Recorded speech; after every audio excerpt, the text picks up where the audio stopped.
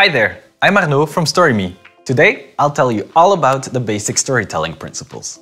One minute videos have the power to tell a convincing story about your business. To do so successfully, you need to make every second count.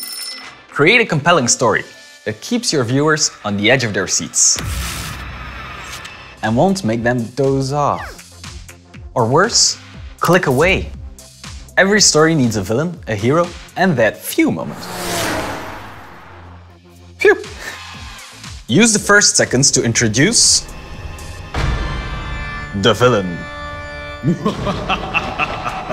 this isn't necessarily an evil mutant ready to destroy the universe. No. It can be any threats or problems that your clients are facing, like lack of time or inefficiency. Introducing a villain will create a setting that your viewer can relate to.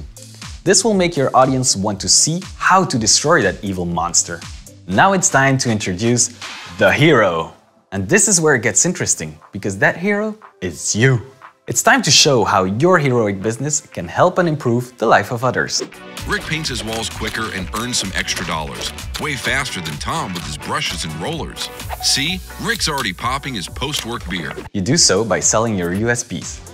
Be transparent, straightforward and sincere. Keep it simple, but leave a little bit of mystery so people want to know more about you.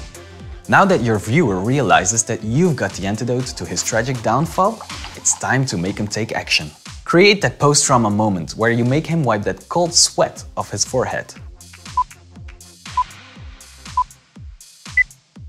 Use the last seconds of your animation to make them want to contact you, visit your website, or share the video. Think of a clear and simple call to action, and don't be afraid to add some fun! And lastly, don't forget to keep it simple.